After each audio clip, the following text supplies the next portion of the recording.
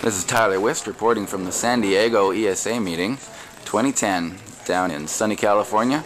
And I'm here at the I'm here with uh, David Gracer and Florence Dunkel. And could you guys please introduce the uh, session that you're at?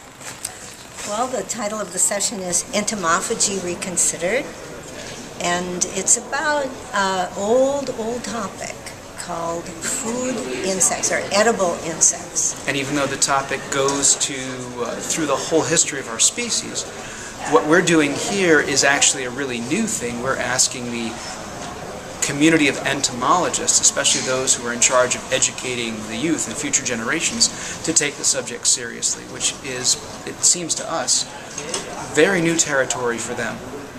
Definitely. So, Florence and David, I'll just throw this out to you. How many times a week do you guys eat insects? Uh, in the summer of 2008, I made insects 75% of my food intake for 30 days. That's amazing. It wasn't a bet that I lost, it was a project that I undertook.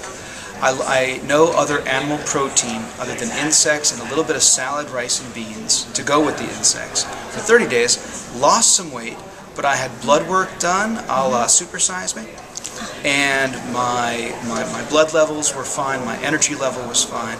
To answer your question, generally, I eat insects only about once or twice a month, which I still think puts me above not only most Americans, but most people involved in entomophagy. Agreed. It does, it does. Um, I eat them uh, when I prepare them because they're so expensive, and so Which is counterintuitive given the Yeah. fact that they're cheap to raise. but yeah, so I eat far. them several times Yeah. a year, and then of course I like the leftovers. I really think those are super good. Um, I especially like them on salad toppings, as salad toppings or hors d'oeuvres. Or, oh, oh, all sorts of different ways. That's in uh, brownies and there's many. I, I must have They're very versatile. They can be Yeah. uh, perso- processed, you know, they can be used whole and they can be processed in many ways. Well, that leads right into my next question. Favorite recipes?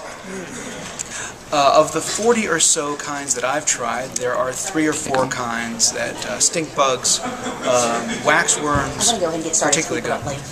Okay, so Oh, we have to go. For sure. Yeah, I have to Yeah. introduce. Thank you guys.